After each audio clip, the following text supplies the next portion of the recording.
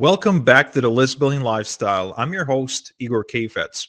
One of the challenges that you face as an email marketer um, who constantly communicates with their list is you, you always need to come up with new things to say.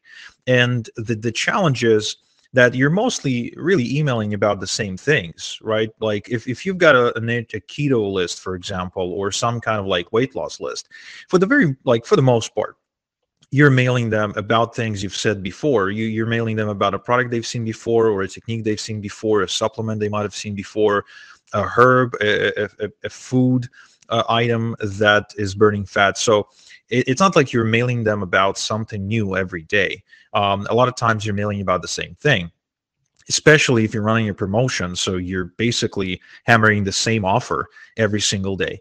Um, so so it can be really really hard to come up with quote unquote angles or approaches or um, or um, you know uh, um, if you will ways to see things or, or, ways to present things to your list that don't seem like the same old same old they've seen before.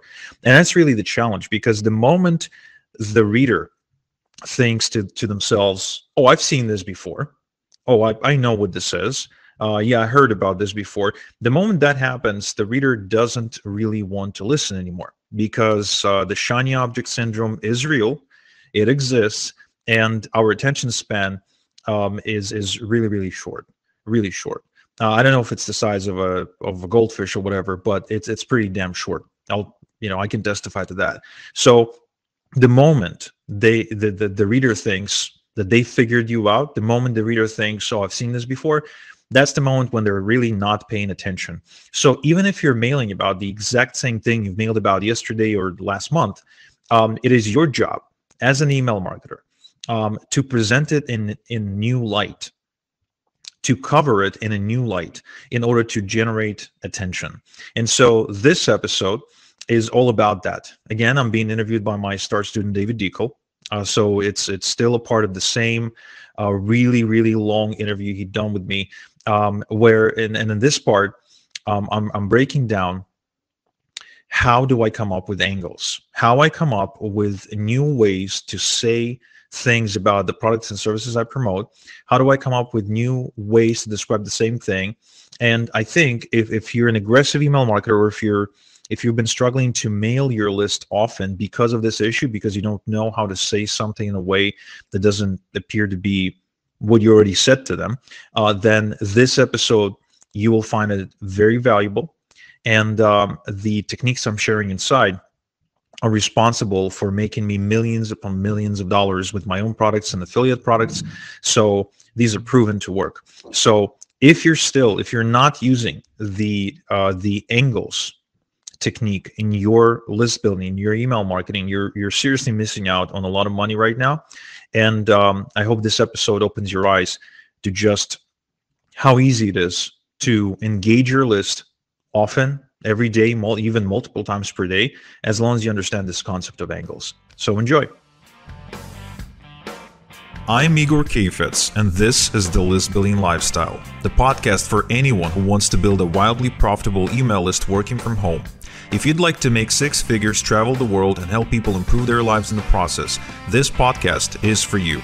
I also invite you to claim a free copy of my best selling book, The List Building Lifestyle Confessions of an Email Millionaire, at igorsbook.com.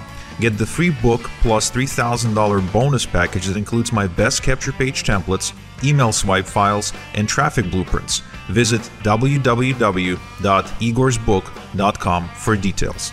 And now, it's time to claim your list building lifestyle.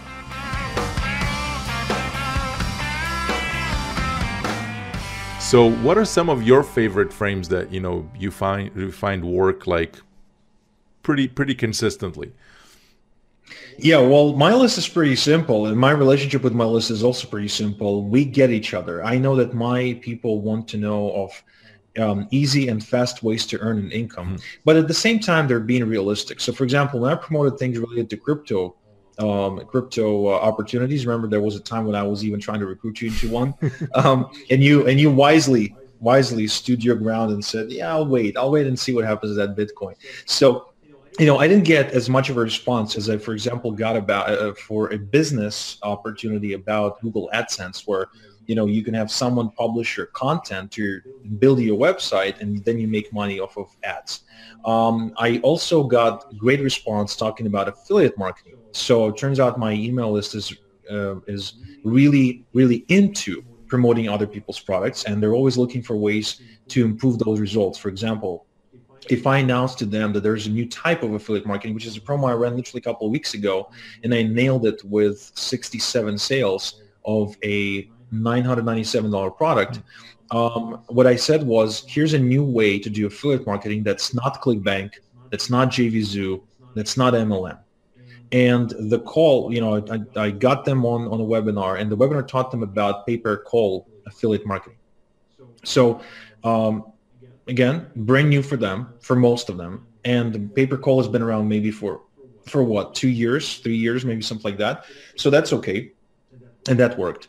Um, I had another one where I, yeah, I remember one angle that worked really well was give stuff away for free and still make money, mm.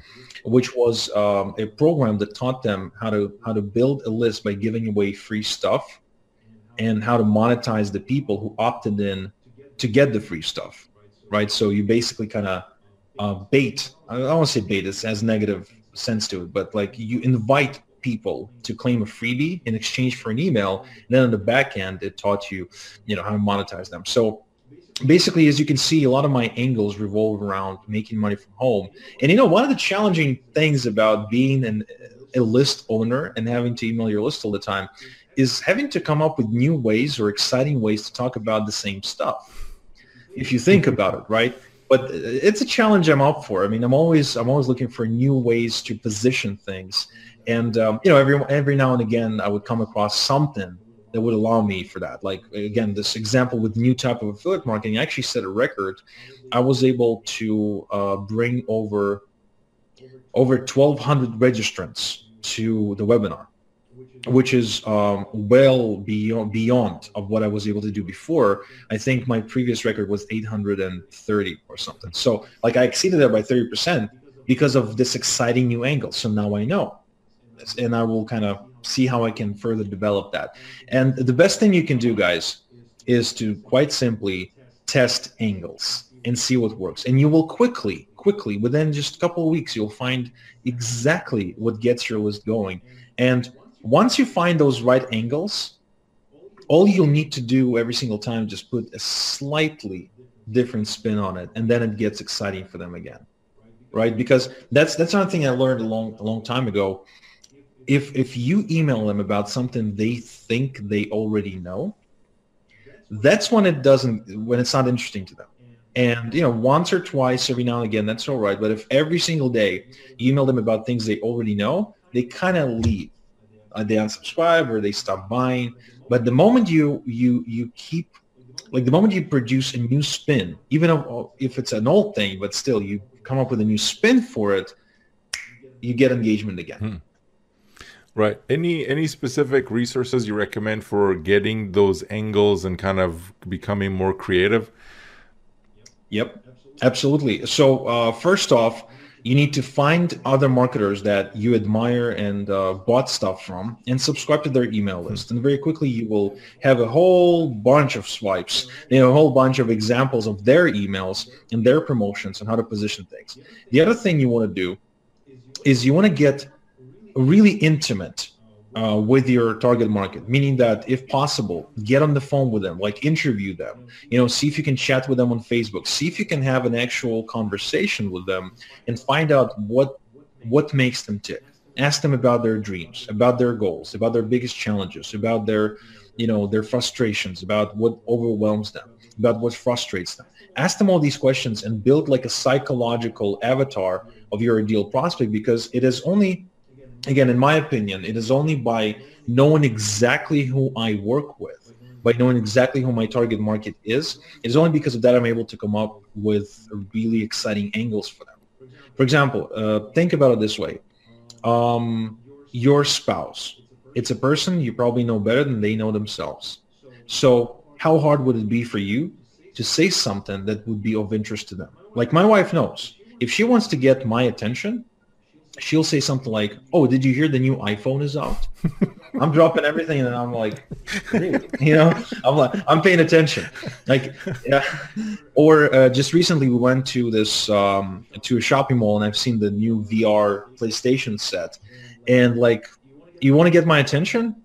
Talk to me about that. I'll talk to you. Want to get my attention? Let's talk about FIFA and PlayStation. Like, so everybody has a button. Everybody has a thing that interests them. Um, in this, so as long as you know what the buttons are, as long as you can, you know, get that intel, you will never, ever, ever struggle to come up with new angles and with things to say to your target market that are inherently just come with built-in interest. So if you are a person that's inside your own niche, think about your frustrations.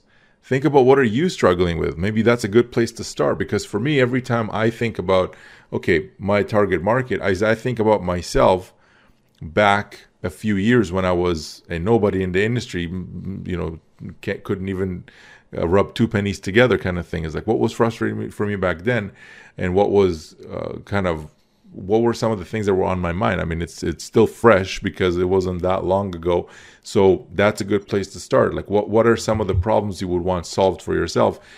And those are the kinds of frames and those are kind of positions that you want to basically talk about. And those are the problems you want to solve for the people because a lot of them, even though you think that you're 100% unique and stuff, but we all kind of have same problems.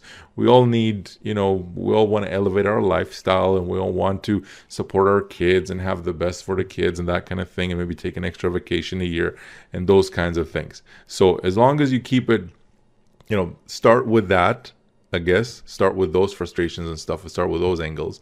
And then if you want to go deeper, then start interviewing and going into everything that Igor said about knowing your market more intimately.